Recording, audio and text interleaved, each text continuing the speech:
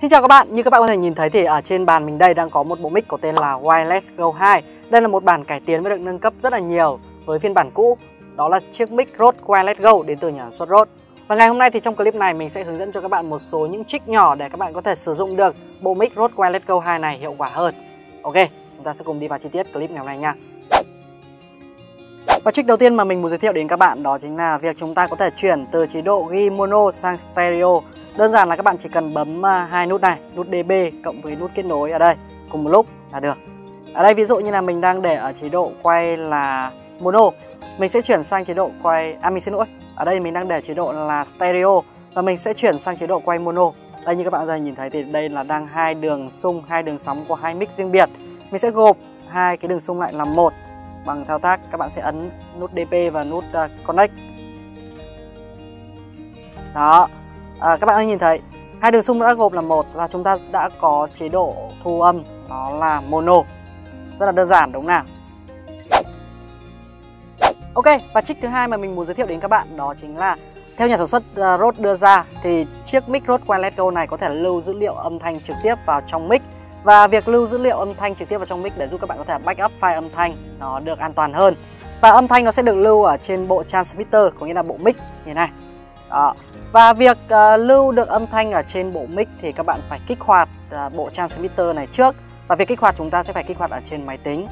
Và mình sẽ hướng dẫn cho các bạn cách kích hoạt ở trên máy tính đối với bộ transmitter này. Nó cực kỳ đơn giản. Và khi chúng ta kích hoạt xong thì như các bạn có thể nhìn thấy này ở trên bộ nhận này. Đó à, đối với mic 1 ở đây mình đang sử dụng mic 1 nha. Mình đã kích hoạt mic 1 rồi. Thì các bạn có thể nhìn thấy nó có một chấm đỏ ở đây. Có nghĩa là khi chúng ta bật mic lên là các bạn có thể lưu âm thanh trực tiếp vào trong bộ transmitter này rồi. Đó. À, điều này đồng nghĩa với việc là chúng ta có thể thu được hai track âm thanh hoàn toàn khác nhau đến từ hai mic mic 1 và mic 2 với việc là chúng ta sẽ kích hoạt đồng thời cả hai mic. Sao cho nó có hiển thị à, điểm đỏ ở đây tùy từng mic. Đó.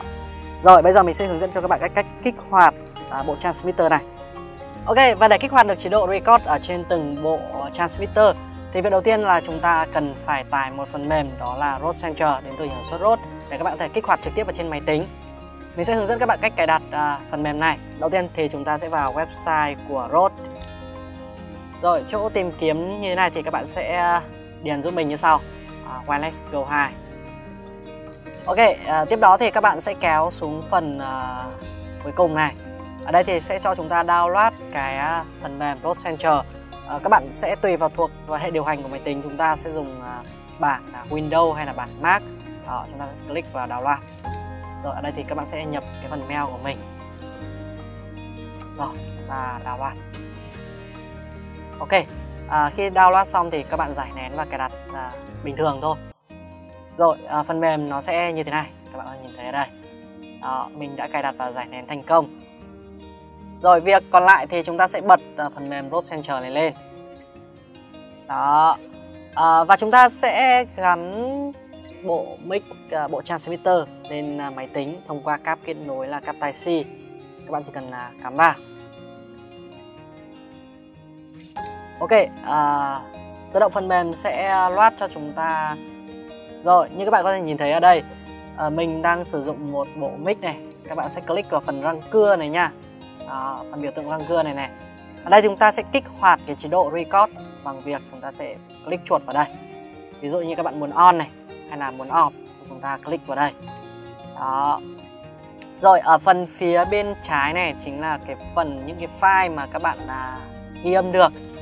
Khi chúng ta bật chế độ record này thì mỗi lần các bạn là bật mic lên là tự động nó đã lưu file âm thanh cho chúng ta rồi cho nên là việc bật và tắt chế độ record này chúng ta phải thao tác trực tiếp ở trên máy tính. File ghi âm ví dụ ở đây mình đã lưu một file này. Đó ở đây. Chúng ta có thể nghe lại. Và nếu như các bạn muốn ờ, xuất file ra thì các bạn chỉ cần ờ, export này thôi. Còn nếu như là các bạn muốn ờ, điều chỉnh cái phần file âm thanh này à, muốn lấy ở đoạn nào này thì chúng ta sẽ kéo thả ở phần đoạn đấy. Các bạn là export là dễ dàng thôi. Đó đó chúng ta export nó ra ở đây thì chúng ta sẽ lưu ra ngoài desktop chẳng hạn đó. Đó. rất là nhanh đúng không nào ok ở đây file của mình nó là file này đây các bạn có nhìn thấy Đó. Và với việc chúng ta lưu hoặc là lấy file dữ liệu của bộ transmitter 1 và 2 ra thì việc này đồng nghĩa với việc chúng ta sẽ có hai check âm thanh, hai đường âm thanh. À, ví dụ dành cho hai người nói thì chúng ta sẽ có hai check âm thanh dành cho hai người. Nó hoàn toàn riêng biệt độc lập. Đó. Ok. Vậy là đã xong chế độ kích hoạt và record ở trên bộ transmitter. Ok và trick thứ ba mà mình muốn giới thiệu đến các bạn đó chính là chúng ta có thể thao tác tắt âm nhanh trên bộ uh, transmitter khi chúng ta ghi âm. Ở đây thì à, sẽ có nút uh, nguồn. Ở đây này các bạn nhìn nhá. Đó. Và khi chúng ta đã kích hoạt được chế độ record có nghĩa là có điểm đỏ ở đây này thì à, muốn tắt nhanh khi chúng ta không muốn âm thanh lọt vào khung hình thì các bạn chỉ cần ấn nút nguồn của bộ transmitter thôi là xong. Đây ví dụ nha. Đó, các bạn có nhìn thấy. Đây, trên bộ à, receiver bộ nhận nó đã kích hoạt để chế độ mút âm thanh ở mic 1 đó đây các bạn nhìn rõ hơn nhá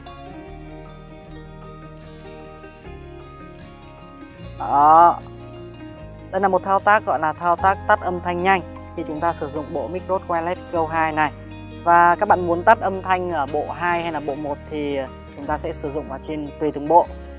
Và nên nhớ là chúng ta nên à, bật chế độ à, record ở đây. Thì lúc đó thì việc tắt tắt âm nhanh nó sẽ được kích hoạt.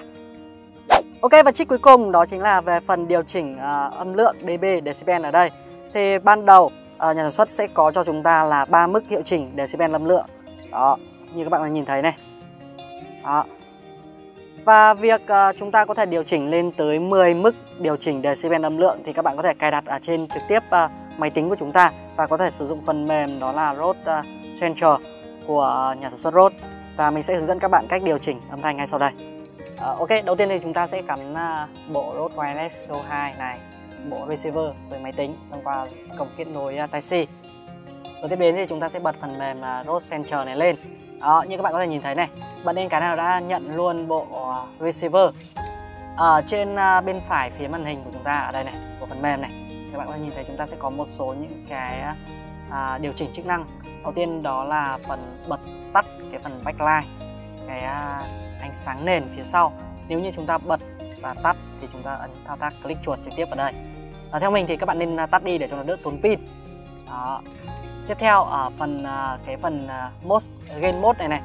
Thì chúng ta sẽ có hai chế độ. Một chế độ đó là các bạn sẽ theo mức gain. Đây, ba mức. Đó. Còn nếu như các bạn muốn bật chế độ Final, Ở đây thì chúng ta sẽ có tổng cộng là 10 mức điều chỉnh phần gain âm lượng này. Từ trừ 24 decibel cho tới không. Đó. Thì với mức điều chỉnh này thì giúp các bạn có thể điều chỉnh cái phần âm thanh nó được tốt hơn. À, Thông thường thì à, mình hay để ở chế độ à, gain 2 này hơn Gain à, đây, trên là 3 mức này hơn so với à, việc chế độ chế độ Final. À. ok cái này thì tùy thuộc và tùy từng người nha. Rồi tiếp đến thì ở phần mốt này thì chúng ta sẽ chia ra làm hai mức. Đầu tiên là chúng ta sẽ chia ra làm hai cái kênh riêng biệt của hai loại mic. Đó chúng ta sẽ bật click vào đây và nếu như các bạn muốn sinh hai đường âm thanh đó vào làm một thì chúng ta sẽ bật ở đây. Nó sẽ có biểu tượng nhé. Biểu tượng là một đường âm thanh này và biểu tượng hai đường âm thanh. Đó cái này thì cũng tùy thuộc vào tùy từng bạn muốn uh, chất lượng âm thanh nó như thế nào ta để chế độ đó. Còn ở đây là chế độ safety channel. À, điều này thì sẽ giúp cho các bạn sẽ ờ, cân chỉnh được cái phần âm thanh của hai mic khi chúng ta gộp làm một. Đó nó sẽ có phần uh, mic âm, uh, đường âm thanh mic an toàn. Đó, giúp cho bạn là luôn luôn điều chỉnh cái phần âm thanh nó sẽ không bị uh, chênh lệch nhau quá nhiều. Chúng ta chỉ được kích hoạt uh, chế độ này ở chế độ mode mà chúng ta gộp hai mic làm một thôi. Còn nếu như các bạn để làm hai như này thì không bao giờ chúng ta có thể bật được. Đó là trên bộ receiver nó chỉ đơn giản như vậy thôi. Và vừa rồi là một số những cái trích nhỏ mà sau một thời gian ngắn mình đã trải nghiệm bộ mic Rode Wireless Go 2 này. Ok và bạn biết thêm những trick nào nữa thì có thể comment ở phần phía bên dưới để chúng ta có thể sử dụng được chiếc mic Rode Wireless Go 2 này được hiệu quả hơn. Và để biết thêm thông tin chi tiết cũng như là đặt mua sản phẩm mic Rode Wireless Go 2 này, các bạn có thể click vào đường link phía bên dưới clip hoặc gọi điện trực tiếp tới số hotline bán hàng của chúng tôi. Còn bây giờ thì xin chào và hẹn gặp lại các bạn ở những video sau. Theo dõi nhiều hơn các clip bằng cách nhấn nút subscribe bên dưới các bạn nhé.